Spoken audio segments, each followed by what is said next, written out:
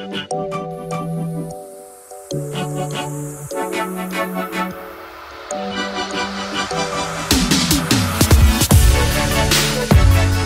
uma satisfação enorme receber uma competição dessa importância aqui na nossa cidade.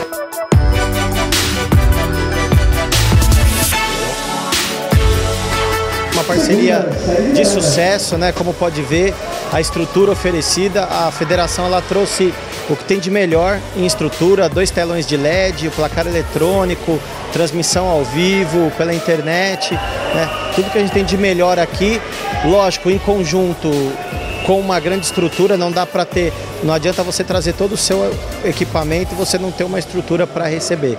Né? Então essa parceria de total sucesso com, com a prefeitura, a gente tem essa, esse belo evento aqui acontecendo.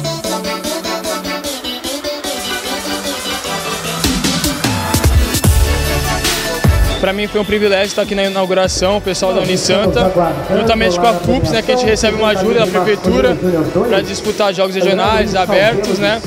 É uma honra porque evolui, acrescenta valores na nossa sociedade para a gente mais idosa e para descobrir novos talentos que futuramente vão nadar no Santa.